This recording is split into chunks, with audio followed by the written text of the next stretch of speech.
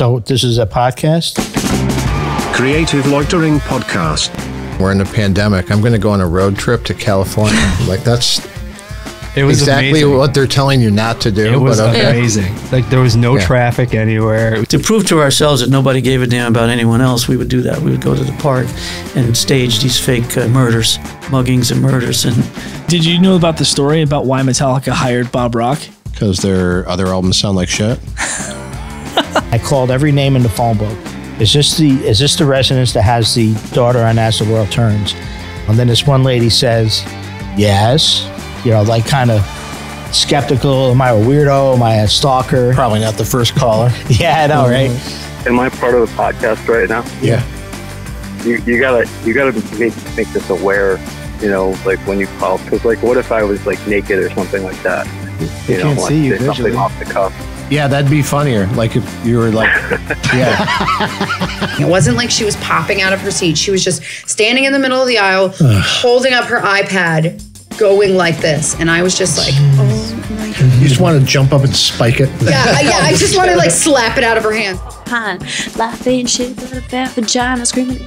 Are you recording? Did you say life ain't shit but a fat vagina? Life ain't shit but a fat vagina.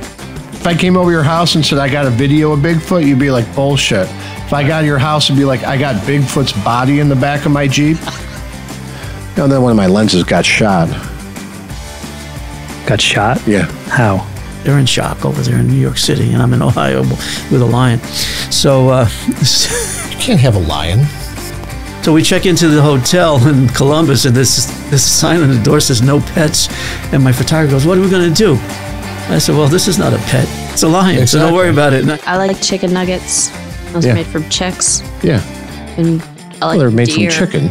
You're talking about that video clip where they're just throwing the males into a chopper. Yeah. Yeah, like a like I a thought wood that was chipper. where my McDonald's chicken nuggets came yeah, from. they're just being horrible. Yeah. Yeah. You don't need to be ashamed of the gas that comes out of your body. Because if you hold it in, you will blow up and have an airhead, and that's how you become a Karen.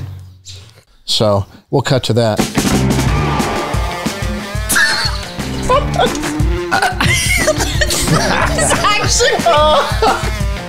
Thank you for listening to the Creative Loitering Podcast. Don't forget to ring the bell and subscribe and like and comment below and enable notifications and click the heart and leave a review and swipe right at Patreon and OnlyFans and make a donation and follow me on Facebook and Snapchat and Instagram and Twitter and WhatsApp and WeChat and TikTok and QQ and QZone and Reddit and Twitch and YouTube and Vimeo and Pinterest and Periscope and Valence and Zelle and Venmo and Untappd and Alpha and Ubo and House Party and Peanut and Caffeine and 23 Snaps and Likey and 8 Tracks and Academia and Fark and And Tumblr and LinkedIn and Tagged and Nextdoor and Mixed and DeviantArt and Quora and Flickr and Meetup and Reverb Nation and Goodreads and Flixster and Caring Bridge and Wattpad and Crunchy.